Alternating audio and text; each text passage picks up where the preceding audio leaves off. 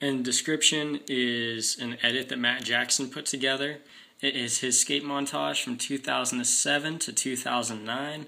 It is very nicely done, and his skating was very good in it. Even though, like, he was, let me see, in 2007, he would have been, um, let me see, 12, 13. 2009, he would have been 14, 15.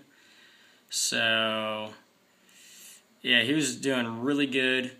Then he had then he broke his ankle twice, or he rolled it like real bad to where it was. I don't know if he broke it or fractured. I can't really remember offhand.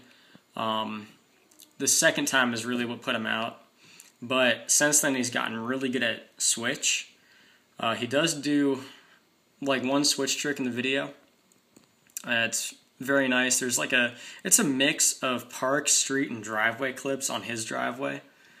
Um, but it's very nice. And if he wouldn't have had those injuries in the past, by now he would be ripping like a fiend. But, you know, that stuff happens and he still is really good today. So check it out and be sure to subscribe.